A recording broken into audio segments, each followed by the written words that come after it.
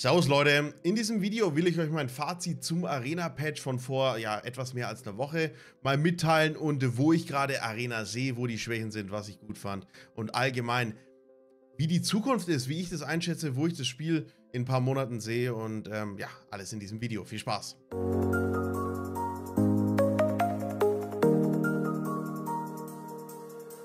Wir sollten zuerst mal kurz drüber reden, wo wir jetzt gerade stehen mit Arena, was noch alles gepatcht wurde. Also es gab den Patch 0.1.5 vor neun Tagen, wenn ihr das Video seht.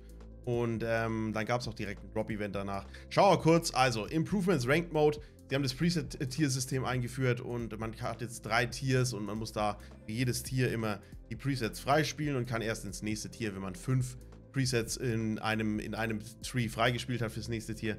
Und das ist eigentlich eine gute Sache. Sie haben dann auch recht schnell ähm, die XP reduziert, die man braucht, um das frei zu spielen. Und die sind auch ganz gut gebalanced, die Presets, muss ich sagen. Da wurde auch nochmal ein bisschen nachgebessert. Also steht auch hier Preset System Rework und ähm, das Leveling-System. Man kann jetzt nur noch ein Preset pro Team wählen.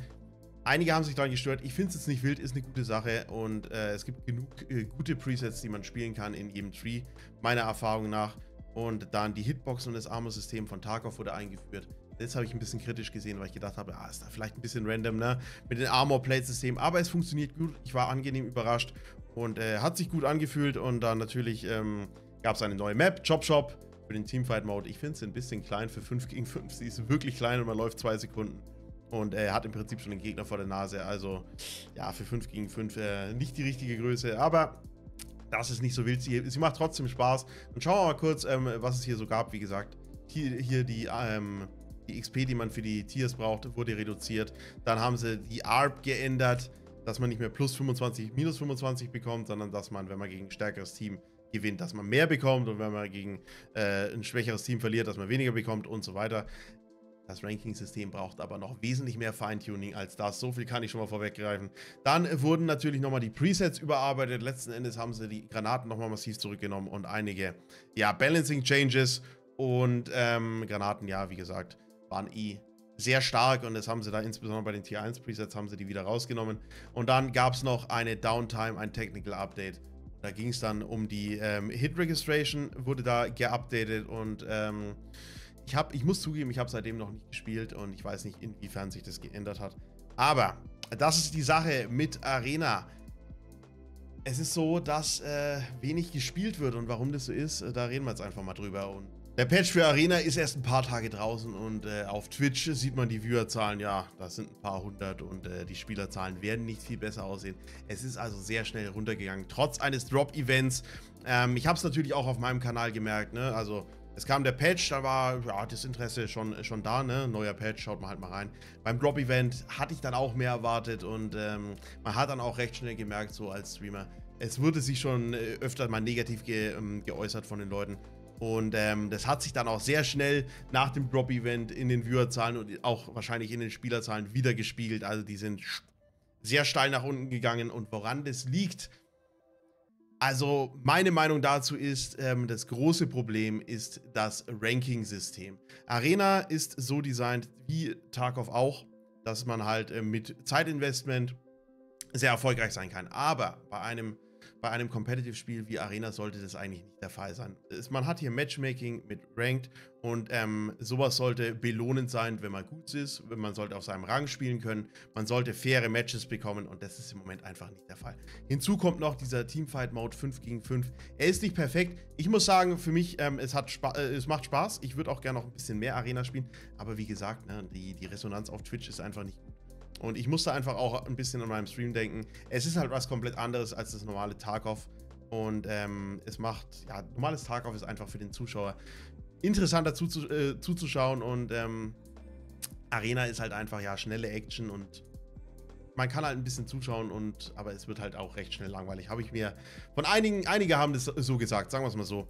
Und ähm, ja, das Ranking-System zum selber spielen, es ist einfach, äh, wenn man bloß ein bisschen spielen will und ähm, da unten aus 1500 ein bisschen rausgespielt hat, dann hat man da schon Spaß mit Arena. Ich muss sagen, es ist äh, ganz gut gebalanced, äh, die Presets und sowas finde ich gut und es spielt sich gut. Die Performance ist, glaube ich, auch ein bisschen besser geworden. Und allgemein geht es in die richtige Richtung, aber das Ranking-System geht nicht in die richtige Richtung. Und ich hoffe, dass da in Zukunft nochmal was kommt. Das große Problem ist jetzt, alle Spieler sind im Prinzip geballt um 1500. Ein paar haben über 2000 angefangen und es, es ranken bloß die Leute hoch, die viel spielen, die halbwegs gut sind und viel spielen, die ranken hoch und haben dann auch ähm, ganz gute Games. Aber es gibt äh, so viele Spieler, die einfach um 1500 sind, die sagen wir mal mit einer 50-prozentigen Winrate da, da sind und die ziemlich auf der Stelle treten und äh, irgendwie überhaupt keinen Anreiz kriegen, da einen höheren Rank zu erreichen, außer sie hauen da hunderte Spiele rein, was überhaupt keinen Sinn macht. Also ich finde, jeder sollte halt von Anfang an irgendwie geplaced werden mit Placement-Matches oder ähnliches, wie das umgesetzt wird. Das ist äh, jetzt nicht Thema, aber äh, es sollte so sein, dass jeder recht schnell auf seinem Rank ist, der seinem Skill entspricht und dann ähm, ausgeglichene Spiele bekommt und ähm, nicht so eine, ja, sagen wir mal, eine Elo-Hölle um 1500 entsteht, wo Teamkill ist, Leute lieven, wo äh, es einfach nicht angenehm ist zu spielen und dann auch schnell die Lust vergeht. Ich selber habe das nicht so arg erlebt, weil ich habe auf 2000 angefangen und habe dann hochgespielt, also das mit Teamkillen und so, aber ich habe es mir erzählen lassen. Und ich kann es mir gut vorstellen, dass das entsteht. Da gibt es auch keine wirklichen Mechaniken, die das verhindern und so. Die braucht es natürlich auch noch. Und ähm, ja, aber allgemein dieses Ranking-System. Man sollte die nicht so guten Spieler auf ihrem Rank haben und die sollten sich nicht mit den besseren Spielern überschneiden. Und es ist tatsächlich so, dass halt auch Rang 1 Spieler dagegen Leute spielen, die irgendwo auf 1700 sind und äh, die, die haben 4000er Rating, die 1700 und die werden noch zusammen gematcht, weil halt die von oben überhaupt keine Gegner mehr finden, weil sie, ja, die eins, weil es nicht so viele Spieler gibt, die da hunderte Games reinhauen oder auch hunderte Stunden inzwischen oder ja. Und ähm, dass da viele aufhören, das kann ich total verstehen und ähm, ich sehe diesen Patch auch deswegen, ja, als gescheitert an. Aber das Potenzial von Arena ist trotzdem noch da und PSG macht da natürlich auch noch weiter. Und ähm, ich hoffe, dass mit dem nächsten Patch das Spiel, der nächste Patch ist ein Content-Patch, bei dem äh, die, die Accounts verknüpft werden sollen, bei dem man Arena und Tarkov dann zusammen verknüpft hat. Ähm, ich denke nicht von Anfang an. Ich könnte mir vorstellen, dass es mit dem nächsten Vibe passiert, dass da ein Arena-Patch kommt und Vibe. Und dann, wenn man ein bestimmtes Level in beiden erreicht hat, Level 30 oder so, habe ich, glaube ich, mal gehört. Ich bin mir da nicht sicher, nagelt mich darauf fest, dass man, wenn man Level 30 in Arena ist und Level 30 im normalen Tarkov, dass man das verknüpft, dass dann die Skills ähm, dieselben sind und dass die Rubel dieselben sind und dass man dann entweder in Arena-Rubel farmen kann oder im normalen Tarkov. Dann wird es wesentlich interessanter, hoffe ich. Und ich hoffe wirklich darauf, dass sie dieses Ranking, dieses Rating-System nochmal überdenken oder dass sie zumindest einführen, dass man ähm, personalisiertes Rating bekommt, dass wenn man gut spielt, viele Kills macht, aber trotzdem verliert, nicht viel verliert, vielleicht sogar Plus macht, je nachdem.